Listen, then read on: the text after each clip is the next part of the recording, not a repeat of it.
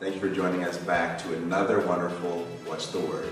This is a little bit of a different episode. Usually we like to highlight people doing things outside of our office, but this is a really rare and special occasion. So I'm here with Grace in the uh, Art Studio. Grace, how are you doing today? I'm doing great. Hi everyone. Really great. So Grace is doing something really rare and special on uh, on this campus that's going to be coming up next semester. Grace, can you talk a little bit about what you're going to be doing?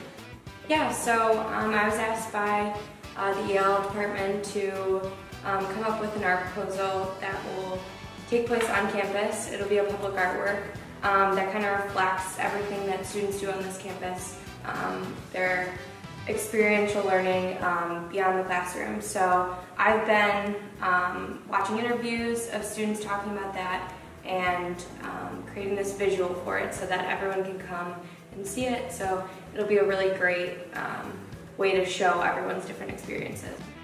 What exactly are you going to make this structure out of? Uh, you go through the process of you know, the equipment you're going to use, uh, what type of art this is called, and just more specifics like that? Yeah, so um, we took an initiative when we first started this project um, to use as much sustainable materials as we could.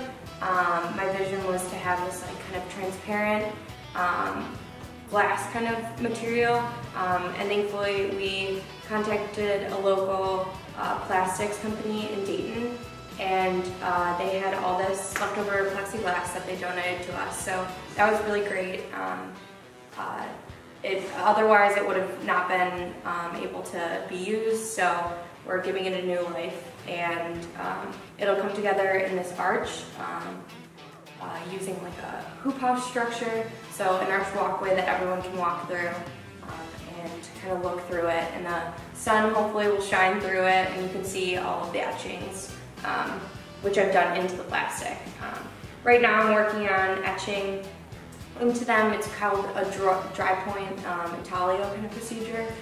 Um, it's a lot like in printmaking, they use it a lot, so that's what I've been doing the most. And then next step, I'll be using an ink to kind of like highlight all the sketches in there, um, make them, you know, more visual.